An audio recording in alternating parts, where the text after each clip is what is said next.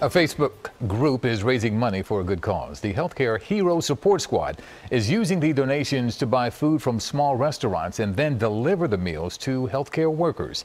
Today, the group delivered delicious bagels to medical staff at Bryn Mawr Hospital. CBS 3 photojournalist Adam Fox has the sights and sounds.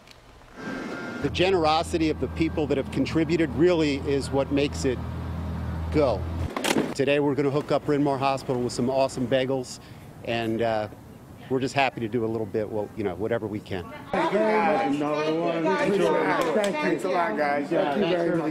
I started this group on Facebook called the Healthcare Heroes Support Squad. We're all working from home and uh, got the idea to message a few friends, collected some money, and ran over to the hospital with some pizzas. Thank you very much, Healthcare Heroes Support Squad, for the pizzas. They're very much appreciated at Lansdale Hospital. Thank you very much. The local businesses that we have uh, partnered with uh, have been very, very uh, grateful as well. Tremendous. Um, obviously, you know, we're in debt to their service, and it's just it's nice for us to have the opportunity, especially after being closed and reopening, that our bagels are going to go there, and uh, what these guys are doing is is crucial.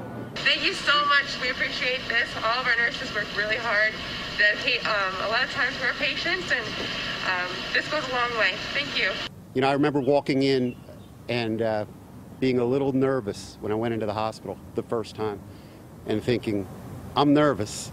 And these people go in every single day. It's, they remind me of running into a fire, like firemen running into a burning building. The smiles on their faces when we give them the pizza makes it all worthwhile.